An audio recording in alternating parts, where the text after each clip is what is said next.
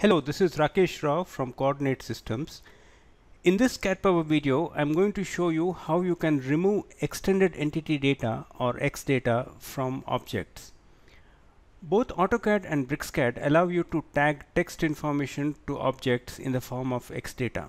However, AutoCAD makes it very difficult for an ordinary user to figure out where the X data is attached and how to deal with it.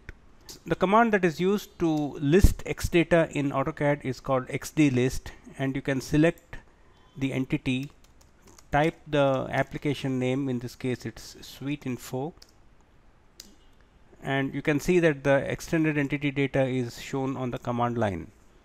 Now in one of my previous videos I converted all the attributes of this block in data attached to these blocks as xdata. Now let us say I want to remove it that is the purpose of this video. So under CADpower, under extended entity data, we have this option called remove xdata. You can run it on the command line also by typing cp underscore rem underscore xd. You need to select the application name, which in this case is suite info. Then you need to select the objects which you want to process. So I'm going to say scan entire drawing so it has found 59 objects and it is going to locate this suite info x data in these objects and remove it. So apply.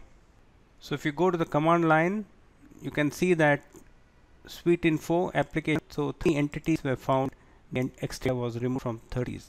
So again I go to xd list and list my entity to verify that the x data has been removed. I once again start my xd list command select this object and you can see that there is no xdata attached to this object now. Get you in geotools and it works in exactly the same manner.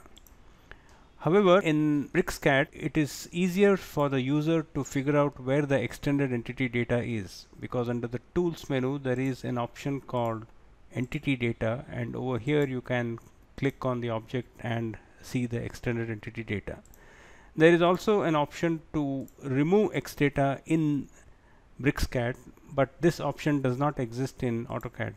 So this tool is perhaps more useful for the AutoCAD user than for the BricsCAD user. It's available in both BricsCAD and AutoCAD both in CADpower as well as in GeoTools. I hope you find this video useful and do let me know if you have any questions.